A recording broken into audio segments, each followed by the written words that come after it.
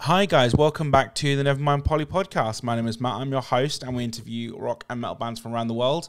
And it's my absolute pleasure to bring you this interview this time around. I've got the guitarist of the band Onslaught. I'm sat down with Nige. How are we doing, sir? How's things? I'm, uh, I'm very good, thanks. Not too bad. Good, good, good. Um, so first and foremost, I want to say a massive thank you, as I said previously uh, just a second ago. This has taken a moment to get on. I've been sort of uh, chasing you for, for for a minute and things to try and get this sat down. So I'm really glad we finally get to do it because I'm a big fan of Onslaught. I mean, um, thrash metal is just a fucking thing I enjoy just in general. It's it's one of the things where it comes on, I'm like, yeah, this is fucking sick. And, and you guys are a band who are my regular rotation. But um, I wanna I wanna start things off by sort of saying, how's um how's life treating you at the moment? How's everything going? Is everything all okay and things? Um, I've had a pretty rough year personally. Um, I don't know if you're aware, but I haven't played any shows for the past 14 months. Okay, um, sure. Which is not cool for me. Um, the band has still been kind of forging ahead to keep things moving, you know, um, without me. Yeah. Um, I had um, a compressed nerve in my spine. Oh fuck. So, yeah. Um, I think the last show I played was in um, March 2022. Okay, um, for sure. And I noticed something going on kind of at the end of that show. My arms had got really tired. Mm. I was struggling. Um, so I went to see some um, medical people at MRI scans and, and found out uh, this trapped nerve thing. So um, yeah. eventually, after a year, I think I had an operation 27th of April, um, mm-hmm. basically eight or nine weeks ago. Yeah. So still in recovery mode. Mm. Um, I don't know how long it's going to take. Yeah. But um, I've noticed some improvement already. Um, yeah. So I think I'll start physio in about three weeks' time. Yeah. Fingers oh. crossed we can kind of make a good recovery then. Absolutely, and that's the thing as well. So I, I can only liken the, so I've had like um, a slip disc before, which I know yeah, is a yeah. slightly different thing, but I know how excruciatingly painful that is. So yeah, um, sending lots of po- uh, positive vibes and love and, and, and good wishes on that respect to, to begin with. But um, yeah, it must be a, a really hard thing in that respect then, because like you say, being being a musician and being a creative person and being a guitarist, you've got a guitar to your to your right of you at the moment. It must be difficult to be able to not be able to pick up and play this thing that you love to do that you have done for the last forty odd years or so. Yeah, I mean it's it's, it's been horrible, especially seeing the guys on stage. You know, mm-hmm. yeah, absolutely. Kind of, um, but no, I was I was limited. I couldn't get to the end of the guitar with my arm. I probably reach up to the like maybe the, the fifth fret, and that's as far as it would go. Bloody hell! But literally, the day I came out of hospital, um, I picked up a guitar just to see what would happen, yeah. and immediately I could reach the end of the guitar, which I thought, wow, that's, something's happened already. So yeah. Oh, that's really that, that's really positive. Then that's that's definitely a, a good thing. That's a good thing. Um, yeah. I wanted to kind of, um, as I say, because of the album coming out in 2020 and things, but you guys being such a, an influential band on my personal taste in music, and it's my podcast and things, so I can kind of make my own rules up. It's kind of like I wanted to have you guys on, but also it was uh, 40 years of Onslaught being a band uh, last year, which is yeah. really, really uh, incredible landmark.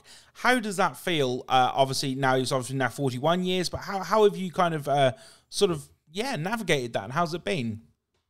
Um, it's mad to think of it being 40 years. I mean, it, it still seems like yesterday mm. when we started. You know, I can still got so many fresh memories of that. Yeah, absolutely. Um, but it's been an incredible journey, um, which we're, we're going to kind of document soon. Mm. Um, it, it was supposed to happen last year, but obviously because of my situation, it's it's really kind of mess things up in in terms of that. But um, we're gonna do a, a special double album release. Oh, um, oh, amazing! Which is going to be this year or very early next year. Obviously, that was to celebrate the 40 years, but um, yeah. that's not happening. So we're we're a little bit behind, but it's going to be a kind of a documentation of uh, the early years of Onslaught, if you like, um, with some re-recordings of um, some classic stuff from back then. Yeah. And more, I think more importantly on that thing is going to, we're going to cover a lot of, um, a lot of bands who influenced us and, and explain the reasons why we're doing these covers and, and what they did for us back in the day, you know. So I think it's going to be a real interesting thing for the, the hardcore fans in particular.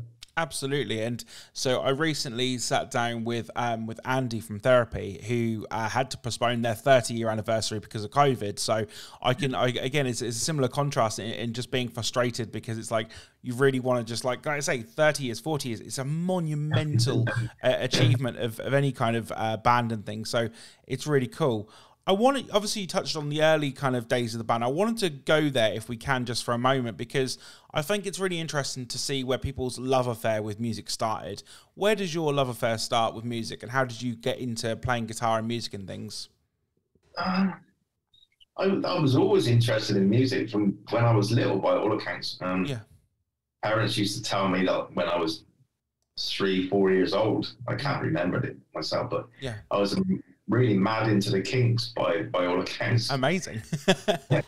So, which I guess they were the kind of forerunners of kind of heavier rock music, I guess, which yeah. was kind of interesting when they told me that. And I just followed music all the way through sort of seventies, you know, um, and then punk came along when I was in my early teens. Yeah, of course. That, that was it. Then once I heard the uh, Sex Pistols and the Stranglers, that was me hooked. Yeah, absolutely. Properly into music then. So um, love that. music just became my life from that, and just buying records and seeing bands everywhere, and just things like snowballed from there. Really.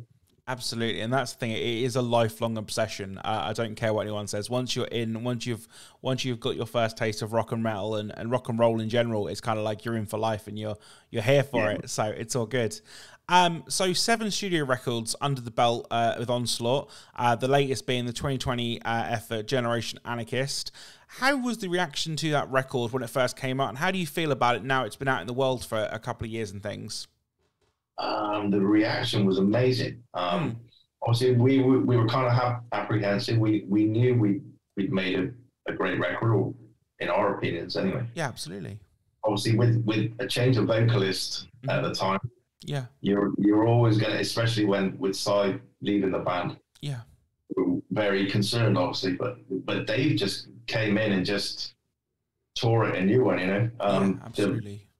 The, the response to to Dave was incredible, and I just listened to some tracks the other day, just sort of easing myself back in. Mm-hmm. Uh, where Dave did such an incredible job, like uh, he really stepped up to the plate and and matched Cy pretty much, and and it it made things a lot easier for us because he did such a good job that nobody even kind of focused on, mm. on the fact that Cy had gone and whatever. And they just um, focused on the music, which got an absolutely amazing response. And that that's um, that's the best thing as well, isn't it? Sorry, just to cut you off. I, I think that's the thing when people look at uh, lineup changes or whatever else, or, or uh, different like if an album's a bit of a drop off in comparison to the previous one, whatever it may be, it's always about the music. So that that makes that's perfect. Sorry, carry yeah. on. yeah, I mean, it, it, like I said, it helped us a lot, and we had a we had a great teamwork on that record, and, and really got the best out of it because we knew it was going to be a challenge. Yeah, of course. Um, but the songs were there, and, and he delivered massively. And the reviews for the album and the response from the fans has been incredible. You know, um, just a shame that we haven't got to tour it properly yet. But um, I'm yeah. sure we get around to doing something for it. Absolutely, absolutely. That makes um that makes perfect sense. Uh, I love that, and that's the thing as well. It's um having a, a, new member of the band and is is hard enough, but having a new frontman is you know the the centerpiece. Uh, some would say of a band is is a real thing. So how how do you think he stepped up to it? How do you think he kind of uh, dealt with it? And did he uh, well obviously stepped up to the plate because he's still in the band and still rocking it? Do you know what I mean? But he's he's been absolutely amazing. You know, he's brought a whole new whole new energy to the band. Yeah. Um, on stage, he's fantastic, and he, he deals with, with the crowd so well. You know, yeah. it's just such a smooth transition. I mean, Cy was amazing, as as everybody knows. Yeah, of course. But, but Dave's come in and, and made it his own. You know, um, and he's been out of this world. Um, yeah. So yeah, I mean, he's, he's a lovely guy as well, which which oh, helps. Well, I was about to say, always helps when you've got a nice front man or nice any member of band. It always helps, doesn't it? I mean, it's just been so smooth, and he, has been fantastic stepping in for me because obviously he plays guitar as well. Yeah. So sure. instead of getting somebody else in a different face, we just decided to keep it go to four piece with Dave singing and um, playing guitar. But it kind of compromises the live show a bit because he's he's got a lot of energy on stage and likes to to yeah. to run around a lot and sort of cover the stage. So he's kind of tied at the moment, but um, but yes, as I said, he's doing an amazing job um, stepping in for Mino. Yeah, absolutely. So as, as we've already already touched on, um, forty years in the game, I want to take you right back to Power from Hell because and this is such a broad question, and I apologize. When I wrote it, I was like, "This is such a broad question," but I needed to ask it. Um, how has things changed uh, since that record in comparison to 2023? And you can take that from a different, a couple of different uh, responses, like from a writing process, from the live shows, from just the equipment you play and how you perform nowadays. How has things changed since the early days, and is it changed for the better? Um, lots of change, lots has changed, and lots haven't changed. You know, mm-hmm, of course. Um, I remember I, I quit my job. it's yeah. a bit of a gamble. I mean, we just just had a record deal. I quit my job to write the record. sure, amazing. which, which, was kind of random, you know. Um, yeah. But yeah, I mean, the, the, in terms of writing, I still write the same way. Mm-hmm. Um, and I've, I've, gone kind of back full circle. The, the um the instrument or the, the, amps I'm using now are, uh, are very similar to what I used back then. I've gone full circle, you know. Yeah. Absolutely. So that's kind of the same. Um, obviously, the technology of recording is a lot different now, which helps mm. vastly with budgets and, and the way you can make things quickly, you know. Yeah. Um, but no, I mean a lot has stayed the same, which is which is kind of cool because it was a great era. Yeah, absolutely, absolutely, and I think that's the thing as well. I think it's testament to to you guys as a band because you put on those early records and they sound just as good as the new records, only just if more a little cleaner in the terms of the production, just yeah. because of the techniques used and things like that. But it's still fucking ripping, which is which is super cool. Um, I wanted to to touch on um, the so V one or six in Roman numerals. Uh, the album's released in 2013. There was a, a sizable gap between 2013 and 2020 uh, with the records. Do you, do you, is there was there a reason for that? Have I missed that from my notes, or just from a curious curious standpoint, really? I mean, I think what what year was that? Two eighty six. I think two thousand and sixteen was the what that have been nice. 30th anniversary of the mm-hmm. Force, I think. Yeah. Um, which we we decided to to go out and do um tour that album as play the Force in its entirety, you know, and that yeah. we we did a world tour, and then we did another world tour. Yeah. And it went on for for almost three years. Mm-hmm, the, sure. the, demand to, for that was ridiculous. Yeah, it, it, was supposed to be like one tour, and and that was it, and it just went on and on and on. Um, and like I said, we we toured that nearly two and a half, three years, and it was it was insane. The offers just kept coming in, and you don't turn it down. No, of course.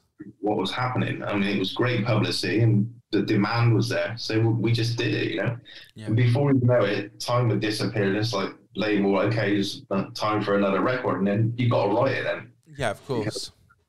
I, I can't. That's one thing I can't do. I was thinking about this the other day. I can't multitask in in terms of being on the road mm-hmm. and writing songs. I'm it's, it's either or. I'm sort of focused on one and not the other. Yeah, for sure. Um, I, I, need to be in that kind of home environment to start writing and stuff, which is obviously you're on the road and not. So yeah, that was hence the long delay. So we put out the um the live at the slaughterhouse album, mm, of course, yeah. um, as a, as a kind of stopgap. But um, it, it, was still a large gap.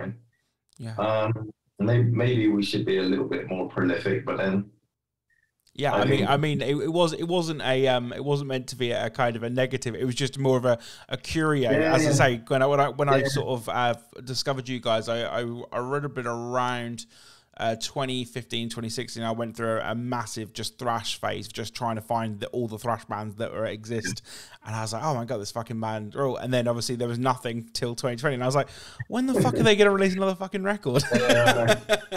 so it's pretty much the same with this one as well, I reckon, because obviously we got the, mm. we got this, this uh, other album coming out I mentioned earlier, but yeah. then we've got to start writing the next one then. So it's going to be another 18 yeah. months to a couple of years. So it's going to be quite a long gap between that one as well, unfortunately. But um, yeah, the situations with the pandemic and, and my injury really hasn't helped. So yeah, absolutely.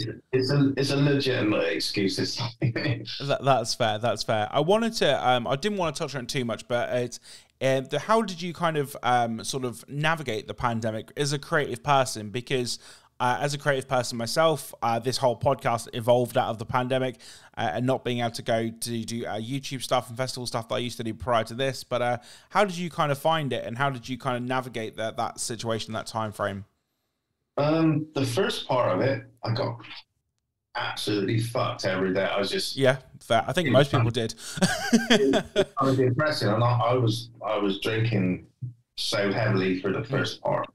It was ridiculous the amount of beer I was going through. You know, it was it was insane. Yeah. Um, but then we had the um the album to work on because we we, re, we we were a little naughty um because we wanted to get the album out. Um, yeah, of um, course. We weren't concerned about it being in the pandemic. We thought it was possibly a good thing that we could um utilize in our favor. You know. Yeah, of course. Um, so we were, um, we did some, we recorded all the vocals in the pandemic. Mm. I remember traveling up, we recorded just outside London. Yeah. Um, and me and Dave went up, and I remember driving up there, and there was not a car on the road. Yeah, for it sure. absolute madness. Like, I mean, people were saying, "Oh, if, if you get spotted by the the, the law, like you're going to get pulled and yeah. and this and that. But we, we took a chance. we, we made it to the studio, like, and the couple of the other guys, the guys who were producing, made it as well. So yeah. we just locked ourselves in there and, and got the vocals done. You know. Yeah. Um, so we kind of focused on that, and then then came all the all the press and promotion for that as well, which which kind of kept me sane then because we were on we were back in band mode even though we couldn't sort of get out there. Yeah, so, absolutely it, was it was good. I mean, I, I, enjoyed that side of things when we were locked down. Actually, it was because um, you could really focus on everything. So. Yeah, of course, and that, that that's the thing as well. I, I kind of. I, I, the reason I asked that question is because looking back at it, you know, when we were in it, it was pretty hellish for a lot of people, and I'm not trying to take anything away from that. But the fact is, like, a lot of people kind of thrived and a lot of people kind of like said okay well fuck my nine to five job and doing the thing i'm going to go and create my own business and i'm going to go and do something positive. Yeah. So trying to put, uh, trying to pull positive experiences out of a pretty terrible situation, to be honest. But um, yeah. So that that's kind of that, I guess. But um, yeah, it, it was all right. I mean, I, I, kind of look back and I know it, it, was horrible us being locked down and we couldn't do certain things, but I did enjoy it in a kind of weird kind of way. Yeah, for sure. Yeah, so uh, it was good. I mean, the weather was good as well. I remember the weather was quite hot when we were locked in. So that is very it, true. You, could look outside or go out in the garden, and it, and it was it was bright and it was kind of cheery, you know. So absolutely, and the thing the thing that kind of um, makes you kind of feel a little bit more at ease, I guess, is the fact that you said you guys snuck out to go to the studio and things. The government yeah. were having fucking parties, so you're you've got a free pass on that one. You're all good. yeah. I mean, I mean, we we had, we had to do it, you know. Um, yeah, I don't. Uh, I think it, it was a good inspiration at the time. Yeah, absolutely. Um, I wanted to kind of ask as well, looking back at your career, is there anything that you would have changed or do differently that you could think of? And if there isn't, it's uh, cool as well. Yeah, and only one thing. I mean, obviously, things that happen is what what makes you as a person or makes you as a band. Yeah, of course. Um, the only kind of regret I know we had especially myself and Steve Grice, was that we signed to London Records. I think that was our mm. biggest mistake. Um, I know Steve didn't really, he wasn't really keen on signing to them. Yeah. Um, he he preferred one of the other labels, which in hindsight, which is a wonderful thing, would have been probably our better option. Yeah. Um, but we that I think that was our big mistake, and I would have like to have changed that maybe um, because we signed to them and it, it was um, probably the wrong label. They were trying to be trendy, trying to take um, get um, a thrash metal band in, in the current climate, you know, because Metallica were were breaking big and yeah, of course. I think they'd licensed uh, Reign in Blood, I think London Records had, and um, Faith No More album. Mm-hmm. Um, so they wanted a, a, band they could sign direct mm. in the UK, and that was us, you know. Yeah. But um, because we didn't sell immediately one million records straight off within like six months. Yeah. Kind of they're they're they had a pop mentality. They had lots of, you know, mm. mainstream pop acts like Yeah. And because metal doesn't work that way, you need you need to develop bands, and, and they weren't prepared to do that. They wanted the immediate success, you know. And, yeah. And they never. I mean, it was successful for us in terms of sales wise, but it didn't hit their targets what they were watching Metallica do. You know. And yeah. We were well. We need time to do this. Um, we're not going to hit their sales figures straight away. You know? Yeah. Absolutely. So yeah, I mean that was that was our big mistake. Um, and I think it ultimately led to us breaking up mm. in the long term. I think first time around. Yeah, for sure. Yeah, that's the only thing I kind of regret, really. Yeah, for sure. Um, I wanted to kind of ask as well. Do you are you a man who has the finger of the pulse and kind of the metal and things at the moment, or or are you kind of uh, sort of you've got you've got your your older material and you're happy with that, or how, how do you kind of view music and things nowadays? How how is things with that? I don't tend to listen to, to too much new stuff. I'm, mm-hmm. I'm, pretty old school. Yeah, for sure. Um, still, my main love, what I follow on, on bands I go to see are, are, punk bands, really. Okay, amazing, nice. And I still see go to see Discharge whenever I can, and bands like GBH and and what have you. And I went to a local pub on on the weekend actually to watch one of my mates. He was playing his first show. Oh, amazing, nice. After all these years, like his first ever gig, like there's um few punk bands playing there. It was a great night out. So, yeah. but um, no, I, I mean, we, we know where we come from. Um, you you take in a kind of few modern influences, but I don't want us to go to absorb all this new kind of metal styles and, and what have you. Yeah, we, sure. we know we know what Onslaught is and we know where we need to stay. And I don't want anything kind of coming into our mm. into our headspace that shouldn't be in there. You know, so I don't, I don't follow too much of the the new style metal. Yeah, that, that's fair. That's totally fair. Um, so I want to obviously, um, you've you've had a long and very illustrious career with with Onslaught and stuff, uh, and done countless gigs and festivals in your career. Do you have any standout moments from a show or any funny story stories, anything like that you can give us? Yeah. Oh, there's been so many. Um, I mean, the, the the, the thing that stands out in, in our career and really what kind of set us on the road to, to where we are was when we toured with Motorhead. Um, mm, for sure. What was that like? Oh, that was it was out of this world. I mean, that was just the force had just come out. Yeah. Um, and then we had a phone call from uh, Music for Nations, our label at the time, said, um, "Right, get get your bags packed. You're off on tour with Motorhead for a month in Europe next week." And it's like, Amazing. wow, really? Yeah. And it was just the whole tour was just out of this world. I mean, we we were pretty young kids then, and they just treated us so well. Oh, amazing. Um, and the fun we had on the tour was just amazing. I remember um, we played the first night in in Zurich, mm-hmm. and um, it it went unbelievably well. Like when we we got back in the dressing room after the after the gig, fucking door bursts open. Like Lemmy comes in. We haven't even spoken to him yet. Get back up on that fucking stage now. They want more. Like it's like really. It's like fucking. Oh, it, it, and it was just like that.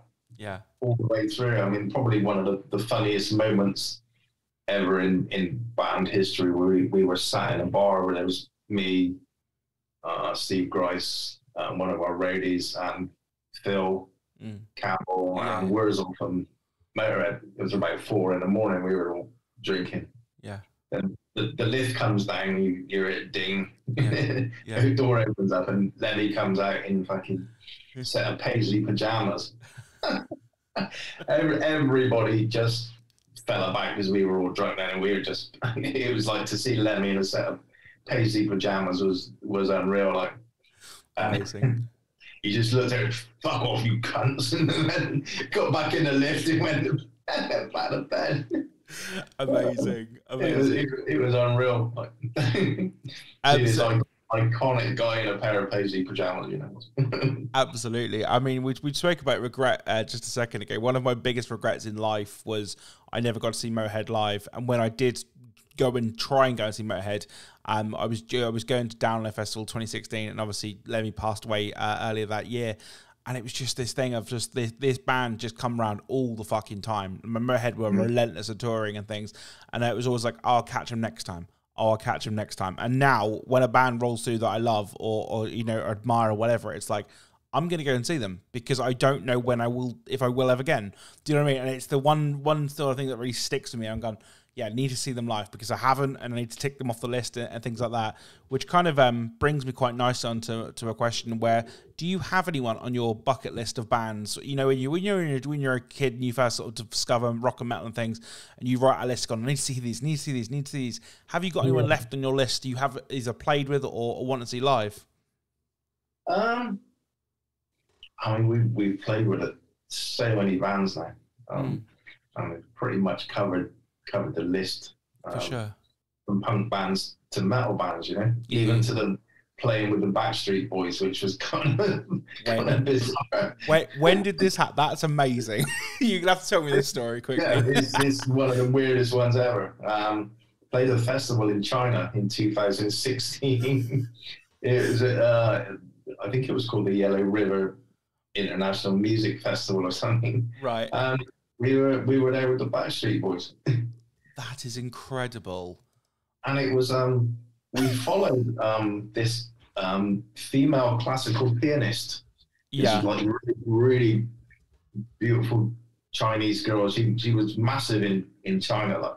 Yeah. So um she's she's on the stage and like all the crowd are throwing all these flowers at the end of her set and I think this is this is going to be we're just going to die here. This is not not going to be good.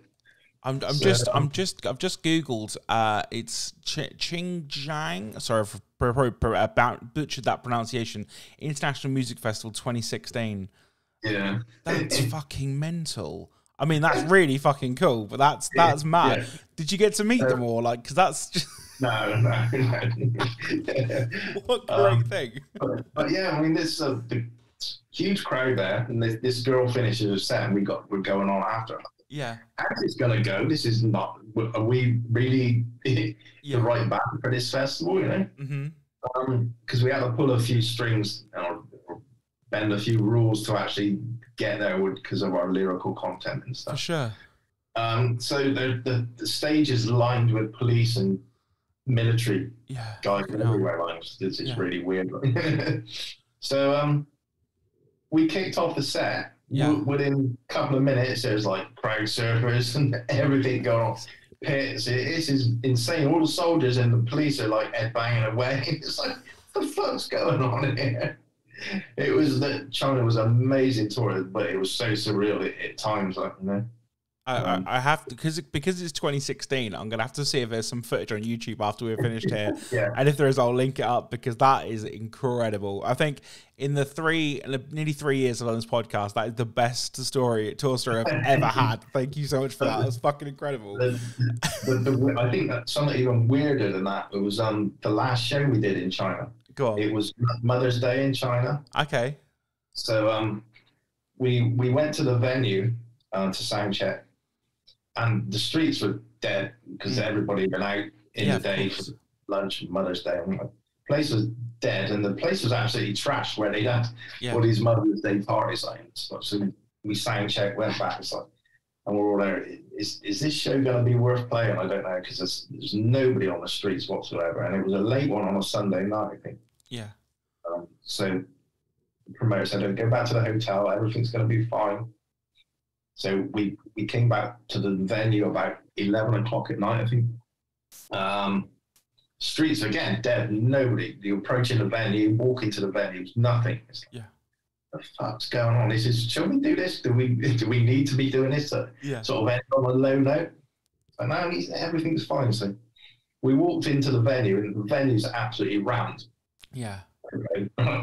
but um, very kind of strange looking audience. Yeah. Um, lots of girls. Yeah. Um, which is quite unusual to have a, a, such a percentage mix of females there. Yeah, of course. Um, so then we kicked off, and the crowd kicked off, and it was there was bodies flying everywhere, and there was just all these girls were just stood at the front of the stage screaming at us like and like crying, and you know it was like when the Beatles used to be like yeah. it was like that. There's all these girls just like oh, just going mental. Was, I've never seen nothing like it. We were, we were all looking at each other. What's going on here? And all these blokes' bodies are flying everywhere, stage diving, and yeah, so so surreal to, to see that. And all these girls that. are just like almost on the verge of fainting. Like it's like madness. would would you say? Because I heard I've had a few musicians on who've said that it's sort of China, Japan is the best place to tour in terms of just because culturally culturally it's so different from anywhere else. But also like you say the fans are just a different level of kind of a crazy. Yeah i mean we've been to japan a few times I mean, it's, it's amazing. They love their metal there. Yeah. Um, but china, china was a whole new yeah. nobody knew what to expect um, and not many bands have been to china before. Yeah of course. um, but uh, as a as an experience of lifetime it was absolutely incredible. I'd love to go there again, play some more shows. So absolutely, but, absolutely. Yeah, it, it, was right out there. Amazing stuff. Um, I've got a couple more questions before I let you on your way, and I do thank you for your time today. Um, and the first of which is a, a question which uh, I feel like the more you buy into it, the better it is, and this will make sense in a second. So. Um, I am going to become, this is sarcasm for any American listeners because Americans don't get sarcasm, at least British sarcasm anyway uh, I'm going to become a massive, huge deal, right? I'm going to have a massive, huge podcast and fucking hundreds of thousands of deals and all that Spotify money coming my way and all the rest of it, right? and I'm going to create my own festival, right? And it's going to be called the Nevermind Polly Podcast Festival. And Onslaught, you are 100% invited to play. It's going to be a very eclectic bill of everyone who's appeared on the podcast, like your good self. Um, I have one question, and that is what would you like to add to the rider of said festival? Now there is no financial restrictions. There's no there is no uh, like logistical constrictions, right? I'll give you the example I always give to everybody. I had uh, the drummer of August Burns Red on, the lovely Matt. He said, "I want a full RC like monster truck setup in the back, right?" So, what would you like to add? And we've had everyone from um, the punk guitarist uh, uh, Beans on Toast. He said, I just want to turn up and play. And I'm like, yeah, you're already on the guest list. That's fine. Like, don't worry about that. Um, what would you like to add? Wow, that's that's insane question. I said I'm a big fan of it. I, mean, I mean, usually I'd say like a couple of bottles of tequila. Yeah, for sure. I mean, that's the standard. I mean, the best one I could say put on there is is the original lineup of Motorhead to be there. Fucking go on, nice, nice. so obviously Lemmy, Phil, and and Eddie, like you know, yeah, um, they were a massive influence, and they're all sadly gone now. Yeah. So to, to have that there would be absolutely out of this world for me. so, so I've got two. I've got a question to go with that question, and is: Are we reincarnating Lemmy, or are we getting a time machine and just going to pop back and get him, and then once he's done, we can put him back to sleep and uh, he'll, be rested again? time machine, I think. Time machine, yeah, not not reincarnated. no, because they you couldn't ever recreate what he was like. Uh, him and Phil, in particularly. Um, I mean, I met Eddie a couple of times, but I I knew them guys. Yeah. It, I'd like to think we're friends in the end, you know. Yeah, um, and you you could never recreate recreate them two madmen, you know. I love it. Um, and I have one final question, which I've asked every uh, artist and every guest who's been on this podcast, like your good self, and it's a fairly simple question, but the the answer is important to you, and you could say whatever you uh, feel at this moment in time, and that is what is the best thing about being in a band slash being a musician, in your opinion. So you can go super profound with it, or you can be something super simple. I had a, um, a guitarist of a death metal band who just said absolutely nothing. He just went nothing, which is he did give you a proper answer, but it's just like great. which is great comedy. but yeah. Um, that's that's the simple one for me because I love to travel. Mm-hmm. Um, and to be able to be able to travel the world and go and meet so many fantastic people and, and experience so many different cultures is just Absolutely. a real honor for me. Um, I think I think when we counted, we we played something like seventy four different countries around the world. Amazing. Um, so to meet all those incredible people and, and see some of the incredible sights we've seen and some of the things are completely insane or what's happened when we're there, like you know. So you you just couldn't buy it. However, even if you were Elon Musk, if you were um, Richard Branson, whoever you are, you could never buy what Onslaught have had in those 40 odd years as a band. Yeah. You, you, just couldn't. There's no way you can buy it because money can't buy that experience. Absolutely. I love that. That's a perfect end to the podcast. Thank you so much, Nige. I've got one final thing, and that is uh, what's ahead in 2023. Obviously, you're in recovery at the moment, and we wish you all yeah. the well with that. Um, I, I, guess that's the, the next thing, it? Focusing on health and, and getting better. And then, um, yeah. yeah, is there anything we should be looking out for in 2023 slash 24? Well, obviously, this um, the double album I mentioned earlier. Um, yeah, of um, course. Um, a lot of it depends on my recovery. Really, we're we're being a little careful with the with the bookings. Yeah, of course. Um, we're just winding up uh, the summer festivals up until August now, um, yeah. and I don't think we've got anything booked um, after that. From now, just seeing how my recovery goes. But um, obviously, album's going to be planned, as I said, later this year or early twenty four. Yeah, absolutely. Which hopefully we can be full steam ahead and get back to our usual busy, hard-working selves. Absolutely love it. Absolutely love it. Is there anything you want to say to the people listening at home, watching on YouTube, and all the rest of it? Uh, I just say thank you for all the support over all the years. You've been incredible. Um, I mean, I think we very rarely get many negative comments from, from our fans, you know, and, and they've been with us along the way. Yeah. Brought a lot of new young fans in as well, which is amazing, and they've all bought into the the history of the band, and uh, you just can't thank these people enough, you know, because without them, you're nothing. Absolutely love that. Absolutely love it. No, it's been a fucking pleasure to sit down with my friend. If you want to come on for a part two once the album's complete yeah. and things, you're more than welcome. As I say, I could pick your brains all day about uh, stories of Lemmy and Backstreet yeah, Boys. Yeah, no, I, really enjoyed that, Matt. Thank you. Lovely stuff. Uh, this has been the Nevermind Polly podcast with me, Matt, you, uh, you guys listening at home, and Nige of Onslaught. We will see you very soon. Peace out, everybody. Peace out. See you soon. Ta ta. Bye.